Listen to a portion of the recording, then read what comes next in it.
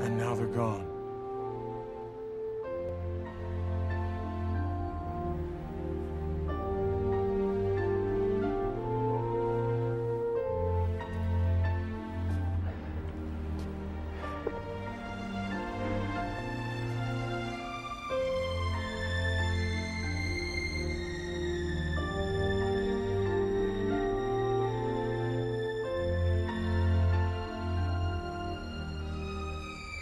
There is no sound, no voice, no cry in all the world that can be heard until someone listens.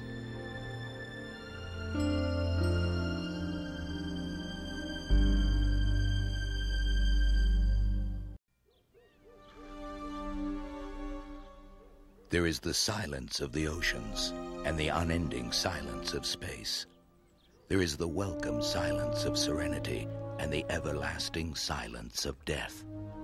A cry for help is lost in the shrill noise of the world, but the faintest of whispers, when spoken in silence, can resonate across a universe. I'm sorry, I was hoping for good news too. I hear. I know I hear, and nobody believed me.